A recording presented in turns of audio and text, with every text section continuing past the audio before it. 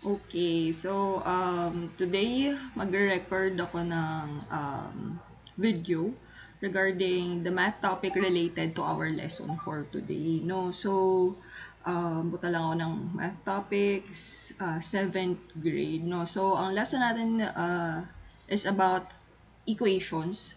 No, and equations make use of what we call properties of equality para ma-solve siya, no? So, um, yung APE or yung addition property and uh, subtraction property of equality, um, we can shorten it by using yung transposition na tinatawag natin. And yung um, MPN, DPE, uh, madali lang naman malaman kung anong property ang in-apply doon. Kapag may nakita kang fraction, okay, kadalasan it's MPE. And when you, you when you see a numerical coefficient, um, along with the variable, no? So, division property of equality naman siya. So, tingnan natin kung anong itsura ng um, single variable equation. No? So, itong 3 yung inuna kong sagutan. Hindi ko alam kung bakit. No? Pero, unahin natin yung single variable equation dito, then saka yung 2, saka yung 3. No?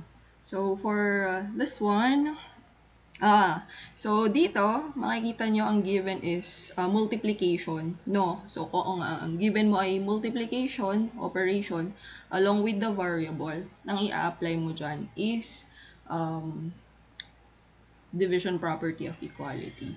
No, so ang mali maikling kwento nito, um, 2 times an unknown number equals 16. So kaya ang magiging sagot natin dito is 8. No, So, divide, uh, paano nakuha yung 8? Divide mo buong equation by kung ano man yung kasama ng variable. So, since 2 times v to, divide the whole equation by 2.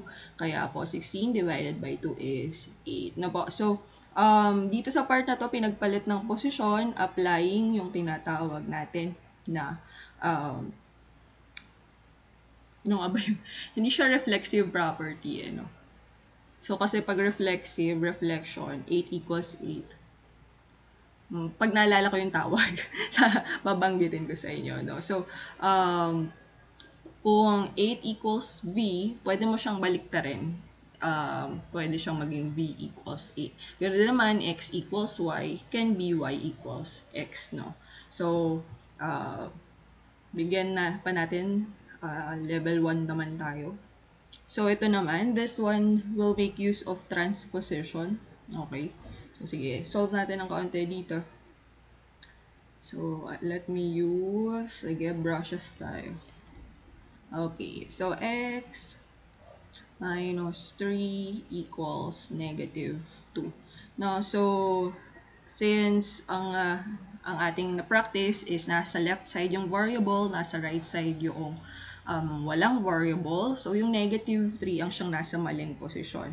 So, using transposition technique or by APE or addition property of equality, negative 3 will become positive 3.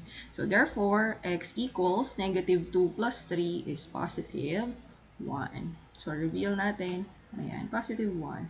So, dito, ang ginamit nila is yung long method talaga na uh, APE plus 3 plus 3. No? So, mapapansin niyo dun sa transposition, tinanggal ko na lang to and nilipat siya.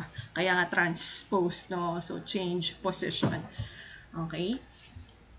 So, again, it's just a shorter way of solving our um, uh, solving equations by APE or SPE. So, ito po, by APE or addition property, since we added 3, ayan, to both sides of the equation. So, next, number 2. So, ito naman. Yung mga given dito sa math score, ano sila, um, hindi sila katulad nung dati na lahat ng variable nakaayos na agad sa left, no? So, kailangan naayusin natin. No, so, um, since negative 6 equals d minus 3 siya, pwede tayong mag-exchange positions ng terms, pwede rin naman tayong, pwede rin namang pagpalitin natin ng posisyon yung left at right, right. No? So, pwede ang gawin natin, since negative 6 equals d minus 3, pwedeng gawin natin d minus 3 equals negative 6. Yung kagaya nung kanina, No, yung V equals 8 at 8 equals V. Pwedeng ganon, no? So, ma'am, bakit hindi po sila nag-change ng sign? Kasi po, isang buo or left at right talaga ang pinagpalit mo ng posisyon. Pero kapag halimbawa, term lang yung pinagpalit, term lang yung pinalitan mo ng posisyon at nag-cross siya ng equal sign, yung isang term lang yon ang papalitan mo ng sign. So, anyway, pakita natin na yun din yung lalabas sa sagot if we use transposition agad. Okay? So, for if the, if you apply this one, uh, lahat ng may letters or variables sa left, lahat ng terms na, na walang variables sa right, so we we are to transpose negative 3 to the right side of the equation and, and it will become positive 3. No? So, tanggal na siya dito. Therefore, D equals, sorry ha, hindi ko na nire-rewrite, no? So, D equals negative 6 plus 3. Sige, rewrite natin, baka kasi maguluhan yung iba. Ayan. Image, select. Oh, burahin ko lang tong part na to. Yan, no? Then, D equals, ito shorten ko lang kasi, alam nyo naman, may time limit to. So, negative 6 plus 3, subtract mo agad. 6 minus 3 is 3. Then, kopya yung sign ng 6. So, the answer is negative 3. Okay? Mga bakit hindi na po tayo nag-checking? Again, um, checking is kapag may time ka pa, no? So, pwede kang bumalik, no? And by doing the checking, ibig sabihin you substitute your answer to the given equation and see if you will have equal values on the left and right side of the equation. No, so sige, i-checking na lang pala natin to. No, so our original equation is is negative 6 equals d minus 3. Okay, so checking if eh, uh, if d, sorry, variable natin, d is equal to negative 3 uh, the given equation will become negative 6 equals negative 3 minus 3. No, so negative 3 minus 3, same signs, add and keep, diba? So, same signs to, parehas negative. So, uh, the, the sign of our answer is negative. Then, add the numbers, no? So, 3 plus 3 is 6. Ayan, and negative 6 is equal to negative 6. So, so sabi nga natin, if nag-equal yung left and right side ng equation, Therefore, our answer, D equals negative 3, is correct. No? So, gagawin mo yan mental, mentally, no? kung may time pa. No? So, mentally, alam mo na negative 3 to, so negative 3 minus 3 is negative 6. O yun, tama naman, negative 6 naman yung given. Okay. So anyway, if you need to pause the video para matake, nyo, matake note nyo yung examples, do it ha, para po uh, meron kayong uh, reference. No, level 3 naman tayo. So, sa level 3, kagaya ng example sa sa level 2, no, uh, isang variable again, then nasa right side po ulit siya. No? So, pwede nating pagpalitin ulit ng posisyon yung left and right side of the equation. Pwede rin naman na mag-transpose na tayo agad. So, for this one, pwede mag-transpose na tayo agad. No? I-apply naman natin yung isa pang method na hindi ko in-apply sa nauna. So, um, we have negative 12 equals V minus 7. Wait lang ha.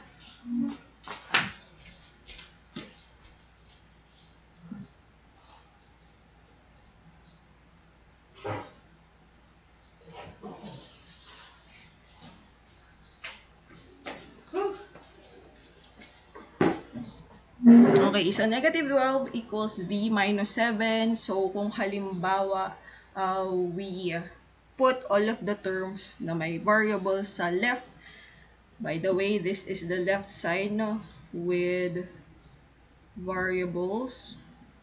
Pasensyahan nyo na yung sulat ha. And without, no. So, ibig sabihin, yung atin pong negative 12 Itong negative 12, dapat siya ay nasa kaliwa, ay nasa kanan. And yung V natin, siya naman dapat yung nasa kaliwa. No, so again, negative 12 should be on the right side and V should be on the left side. No, so if we put um, V sa left side, papalitan ko na ulit na ng black, So, V is positive, no? Makikita nyo wala siyang sign dito, no? Um, V will become negative. V. Bring down natin yung equal sign. Dapat pag nagsusulat tayo, magkakatapat hanggat maaari yung equal sign. Then, uh, we place negative 12 to the right. No, or pwede rin naman, bring down natin si negative 7 muna. Maalin po, no? So, negative 12 will become positive 12 and then bring down 7. No, so since 7 is negative, edi negative pa rin yan. Kasi hindi naman nagalaw yung posisyon niya. No? So kahit pa una mong nilagay si negative 7 then plus 12, parehas lang po yun, ha? Okay.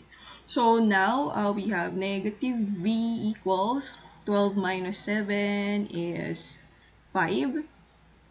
And since kailangan ito ay maging positive, no? Divide the whole equation or multiply the whole equation by negative 1. Okay? So, kung ano mismo yung kasama ng variable natin, divide by it. No? So, v equals negative 5. Ma'am, paano po ulit naging negative 5? We divided by negative 1. No, so, um, kadalasan hindi na siya sinusulat as this one. No, pero ilagay natin ngay sa ngayon para makita ninyo yung naging process natin, no. So dito, yung red natin dito, since positive naging uh, negative naging positive, so that one is APE. Positive naging negative, so it's SPE. For this one, since we divided by 1, no, so that one is DPE. Okay? So, ayan. So, this is our final answer. Ay, sorry. Nag-scroll lahat. Okay? So, yun. Sa math score naman, dito sa examples, meron naman nakalagay na um, explanations. No? Okay. So, for this one naman, sa math score. Ganun para naman. Ang ginawa lang is, pinagsama lang on one side yung walang variable. So, um, for the sake of uniformity lang yung ginagawa natin na uh, yung may variable sa left, then lahat ng wala sa kanan. Number 4. So, 0 equals 15D. Ah, lumabas yung PowerPoint. Sorry. So, 0 equals 15D. Sige. Roll A. Delete muna natin. 0 equals 15D. Ayan. No, so since, or parehas lang to ng 15D equals 0 ah.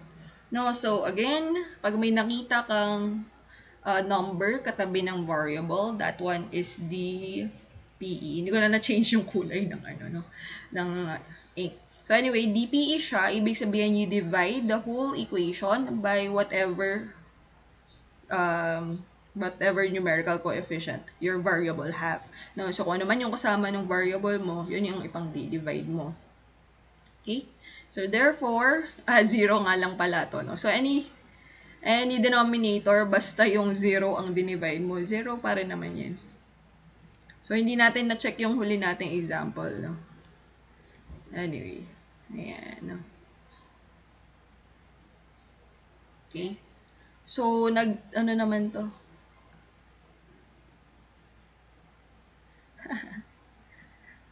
Zero. Ah. No.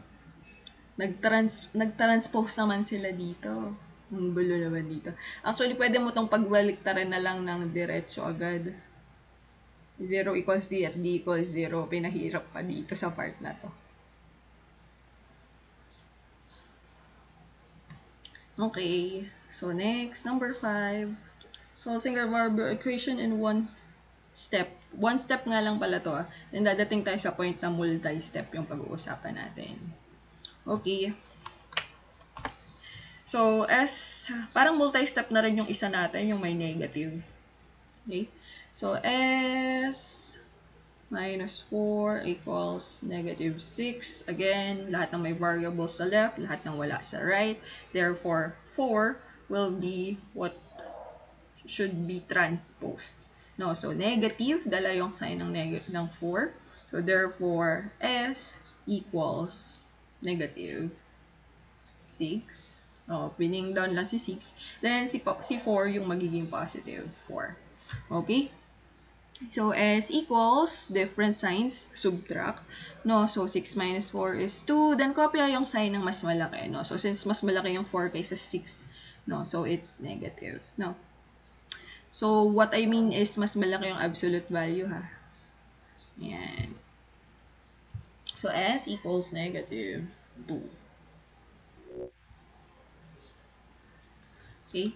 So, pause ko muna to. Let me, um, Ayan. So, sinaksak ko na yung laptop ko, no? So, we've already spent 15 minutes in, uh, in doing the examples, no? So, let us now do worksheet. Okay, so f minus 2 equals negative 2. Transpose negative, it will become positive 2. Positive 2 minus 2 is 0. Next. 8 equals 4v. Anong ita times sa 4? Para maging 8, it's 2. Next.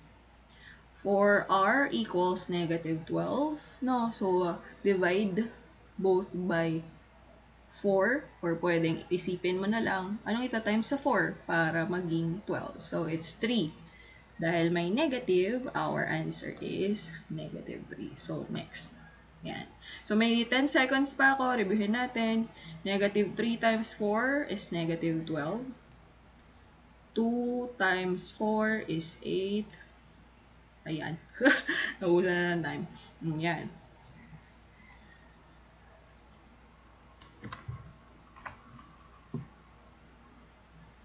Okay. So, dinilit ko yung solution ko doon. Kasi ina-expect ko na na medyo complicated na yung susunod. Okay. So, t minus 4 equals negative 11. So, um, magiging positive 4 to. Negative 11. Alo, ay magsulat. t equals negative 11 plus 4 na transpose na. So, it's negative. Ay, hindi. Negative 7 pala.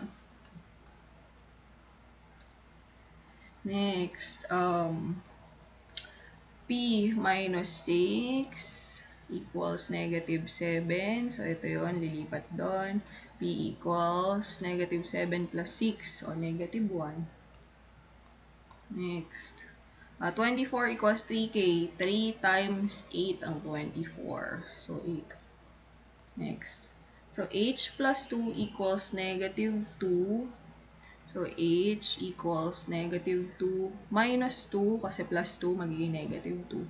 So, H equals negative 4. So, negative. Wala, mabusan ng time. Isa pa. So, 5G equals 35, 7. Negative 2, magiging positive 2 at negative 3. So, negative 1. Ah, naulit lang yata yung ano kanina. So, negative 5, magiging positive 5. Negative 9. At positive 5 ay negative 4. Dito talaga hindi na kayo makakapag-complete solution eh. No? Tapos, 5 magiging positive 5. At negative 4. 1. Positive 1. Next. Uh, balik ko muna. So, 1 minus 5, negative 4. Negative 4 minus 5, negative 9, tama. Negative 1 minus 2, negative 3. So, 5 times 7, 35. Oh, submit answers. So, ganun na lang ha, kapag post dito sa math score. 7 minus, ah, 7 equals A minus 2. Okay, so 7 plus 2 to. So 9. 9 minus 2 is 7. So 9. Next. 14 equals M plus 6. So 14 minus 6, diba? Change yung sign pag nag-transpose. So, 14 minus 6 is 8. 2 equals r plus 1. 1 plus 1, 2, di ba? Next. Then, negative 6 equals m minus 6. 0. Tama ba? Negative 6 at positive 6 kasi. Then, negative 4, ito ay plus 1. So, negative 3.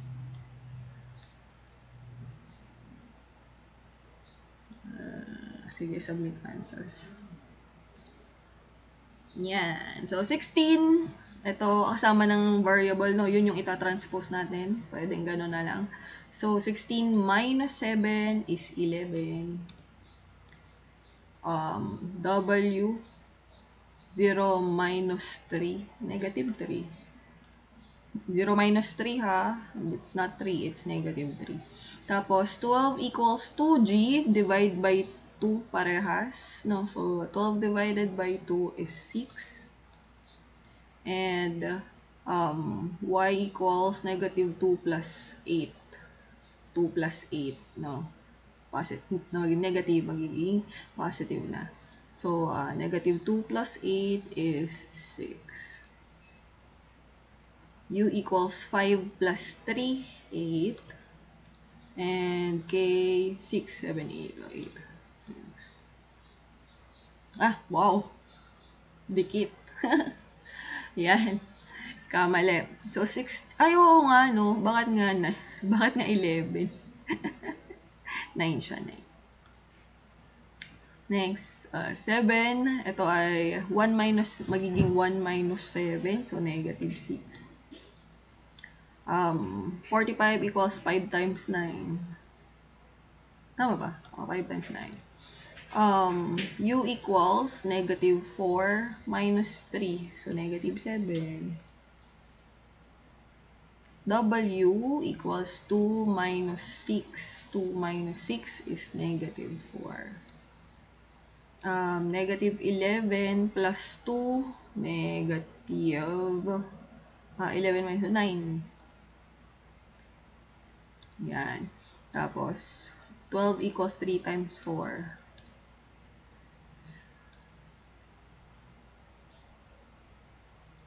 Uh, 4 times 3. 3 times 4, 12.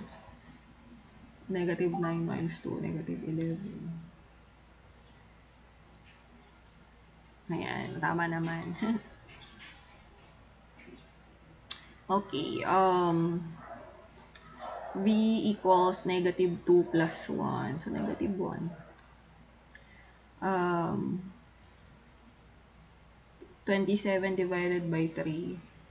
9. Negative kasi may negative yung isa. Um, P equals 4 plus 1, 5. C equals 11 minus 5 is 11 minus 5 ay 6. Tama ba? 6. Oo nga. Pag natataranta ako, nagkakamali ako eh. Negative 6 plus 8. 2. 8 minus 6 din yun. Then, mm, 15 minus 9.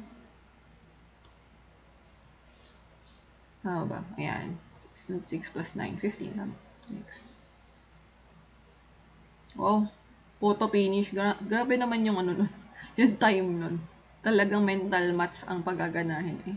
No time to solve sa paper. So, 15 divided by 5, 3. So, negative yun um, r equals 1 plus 3, 4.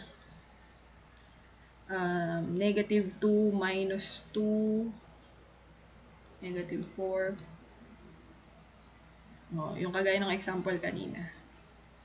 Tapos, 5 times 6 ang 30. Um, negative 3 minus 5, negative 8. And uh, negative 1. Tama naman, no? 10 times negative 1 is negative 10. Uy, napabilis naman masyado tong side na to. Sige, balik natin. So, negative 1 times 10, negative 10. Correct. Negative 8 plus 5, no? So, different sign subtract 3. Then, sign ng negative ang susundin. So, tama naman. Um, 5 times 6, 30. 10 times 0 is 0. Negative 4 plus 2, subtract, no? So, negative 2. Then, um, 4 minus 3, 1. Tama naman. And 5 times negative 3, negative 15. Yan. So, almost done with the topic. So, 8 at 7. So, 7 minus 8 to, negative 1. Um, 21 divided by 3, 7. So, negative. Um, negative 14 plus 6. So, negative. No, magkaiba kasi ang sign. 14 minus 6, 8. Then, um, negative 2 minus 3 is negative 5. Sana nakikita nyo yung pattern, ha? Yung technique na ginagawa ko. Hindi ko kasi masyadong ma... Ano. Sunod ay C negative 13 minus 10 ay plus 10. Negative 13 plus 10 is negative 3. Um, negative 5 times 5 ay negative 25. So, um, 10 divided by 10, uh, nag-divide ako kasi multiplication tong nasa pagitan ha. So, kaya siya 1. And, 8 minus 9, no, kabaliktaran, negative 1. Okay, so ibalik natin, negative 1 plus 9, tama, 8. Kasi, ibabawas mo yung 1 sa 9 dahil different signs. So, 10 times 1, 10. 5 times negative 5, 25. Negative 3 minus 10, negative, negative. So, negative, then 3 plus 10 ay 13. Negative 5 plus 3. O, tama. Negative 2. Negative 14. Yan. Um, almost done. Sige, malapit na daw. So, x equals negative 1. No, so 0 minus 1 kasi. 0 minus 1. Ito, divide by 3. No, kasi multiplication to, apply mo yung division. So, divide by 3. 17 minus 9. So, it's 8. Tama ba? 17 minus 9. Then, negative 7 plus 3, negative 4.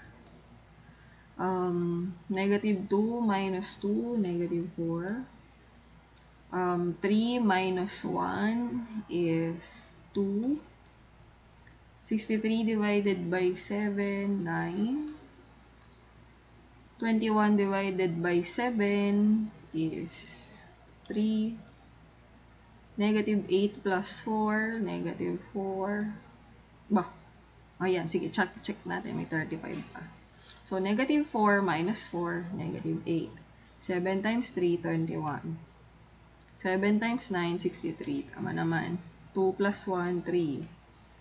Negative 4 plus 2. 4 minus 2 ay 2. Copy ang sign ng negative. So, kaya negative 2 yun. Negative 4 minus 3, negative 7. So, same signs, add 7. Kopya yung negative. Yan. 8 plus 9, 17. Yan. So, 15. Next. So, negative 5 plus 9, 4. 11 minus 2. 11 minus 2. Yan, 9. Tapos, 90 divided by 10. Tapos, 8 minus 2. Ito, multiply, multiplication and divide, negative 9. 10 minus 8, negative 11 plus 3, negative um, 8. Tama ba? 8 plus 3, 11. O, tama. Next, um, negative 6 minus 1, negative 7. 9 minus 1, 8. Um, kung nakakatulong sa inyo na magsalita, magsalita kayo, ah, kagaya ng ginagawa ko. so, 6 divided by 3, 2. Ayan. So, na, na, screw, na ano ko na siya. So, um, 15 minutes din yung tinagal ko sa topic na to, no? So, all in all, naka 30 minutes na tayo. Okay? So, let me cut the video first para po um, separate video yung single variable equations 2, at saka yung continuation ng 3.